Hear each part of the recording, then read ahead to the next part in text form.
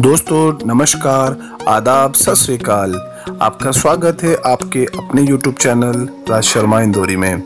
सबसे पहले दोस्तों, आपको धन्यवाद देना चाहूँगा अभी तक के सपोर्ट, प्यार और प्रोत्साहन के लिए।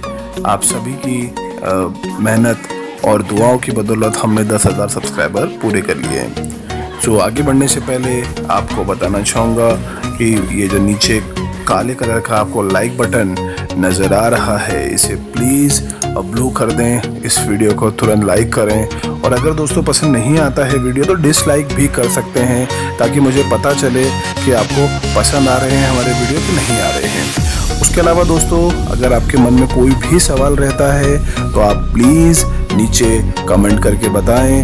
और चैनल सब्सक्राइब आपने कर लिया है, पर अगर आप ये बेल आइकन भी दबा देंगे तो आपको नए वीडियोस की नोटिफिकेशन सबसे पहले मिल जाएगी। तो दोस्तों, आज हम बात करने वाले हैं नेटवर्क इंडस्ट्री के सबसे बड़े दिन की।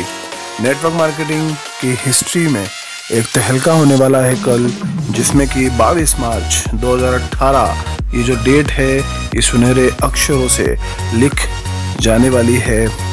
वेस्टीज मार्केटिंग न्यू दिल्ली का जो हमारा हेड ऑफ़िस है, वहाँ पर कल एक ग्रैंड इवेंट है, जिसमें कि बहुत सारे लग्जरी कार अचीवर एक साथ अपनी नई कार के साथ आने वाले हैं।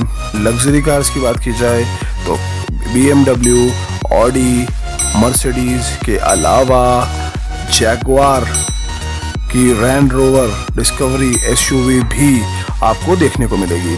तो दोस्तों, अगर आप इस इवेंट का लाइव देखना चाहते हैं तो वेस्टीज मार्केटिंग के ऑफिशियल फेसबुक पेज पे जाके आप देख सकते हैं। वो लिंक मैं आपसे शेयर कर लूँगा नीचे डिस्क्रिप्शन बॉक्स में।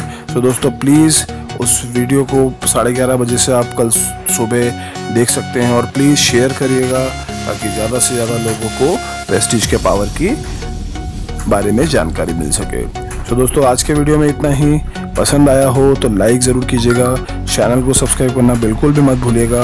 और अगर आपके मन में कुछ भी बात चल रही है तो उसे कमेंट करके प्लीज़ बताइएगा ताकि आने वाले वीडियो में हम उस बात का ध्यान रखें। तो दोस्तों आज के वीडियो में इतना ही। जय Hind Vande Mataram.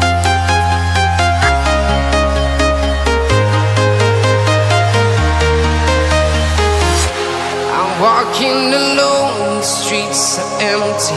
The only thing I can see is my own silhouette. I'm getting stronger, step by step. The clock is ticking, but there's no time for me.